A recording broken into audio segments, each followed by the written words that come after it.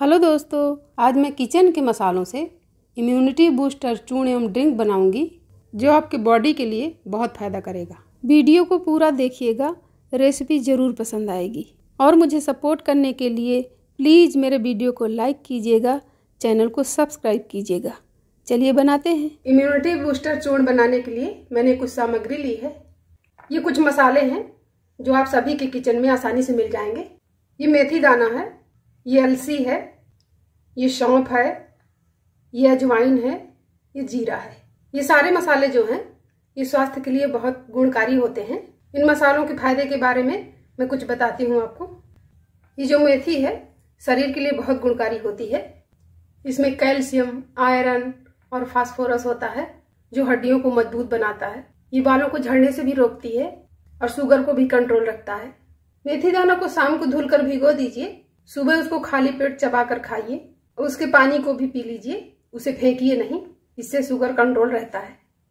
ये अलसी है, इसके भी बहुत सारे फ़ायदे हैं। इसमें भरपूर मात्रा में ओमेगा थ्री होता है, जो हृदय रोग से बचाता है बीपी को कंट्रोल करता है। ये अलसी भी डायबिटीज़ में फ़ायदा करती है। ये सौंफ हड्डियों को मज़बूत करता है, और जोड़ों मांसपेशियों के दर्द को ठीक करता है, और हाजमे को भी दुरुस्त रखता है। इसीलिए खाना खाने के बाद सौंप खाई जाती है कि हाजमे को दुरुस्त रखे। ये अजवाइन के छोटे छोटे दाने, ये भी बहुत गुणकारी हैं।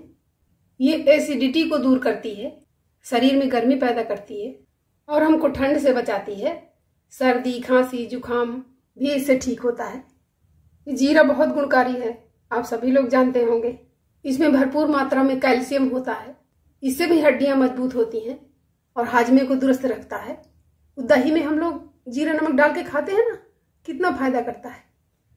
अब इस सारी सामग्री का हमको चूर्ण बनाना है, यानी कि पीसना है। इस सारी सामग्री को मैंने बराबर मात्रा में लिया है।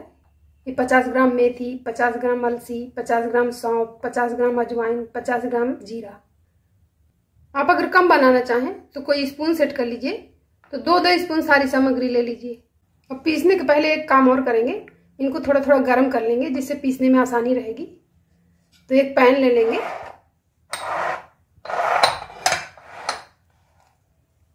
इसमें सारी सामग्री को डाल लेते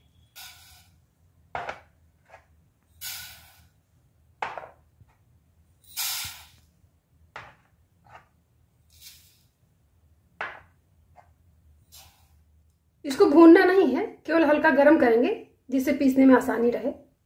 अब इसको गैस में रख देते हैं, गैस को ऑन कर लेते हैं। गैस को मीडियम फ्लेम में कर लेंगे। अब इसको लगातार चलाते हुए केवल एक मिनट के लिए गर्म करना है। भूनना नहीं है इसको, केवल गर्म करना है। मीडियम फ्लेम मैंने इसीलिए किया है कि अंदर तक गर्म हो जाए मसाले, और ज़्यादा भूने भी नहीं।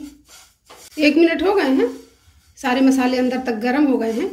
अब गैस को ऑफ़ कर देंगे। अब इसको ठंडा होने देते हैं, ठंडा होने के बाद पीसेंगे। अब लगभग पंद्रह मिनट हो गया है। ये सारे मसाले ठंडे हो गए हैं और इसको हम छू सकते हैं हाथ से। अब इसको एक ग्राइंडर जार में डालेंगे। अब ये सारे मसाले ग्राइंडर जार में डाल लेते हैं।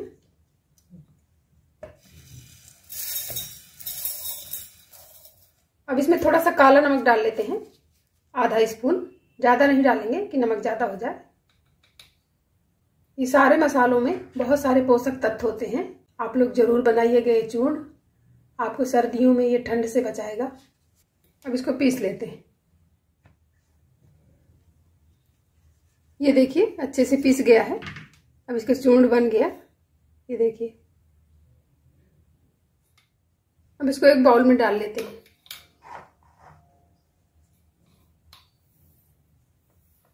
ये चूर्ण बन के तैयार हो गया है।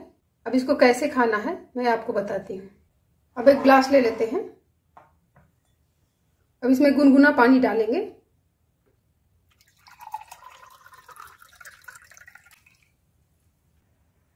अब एक स्पून ले लेंगे।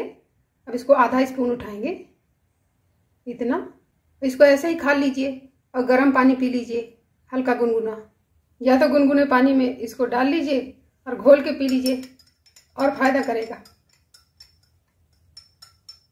इस चूर्ण को आपको आधा स्पून सुबह खाली पेट गुनगुने पानी से लेना है और उसके एक घंटे तक कुछ नहीं खाना है। इस ड्रिंक को आप नींबू के साथ लेंगे। आधा नींबू का रस डाल लीजिए तो आपके वेट लॉस में भी हेल्प करेगा। चलिए मिलते हैं एक नई रेसिपी के साथ।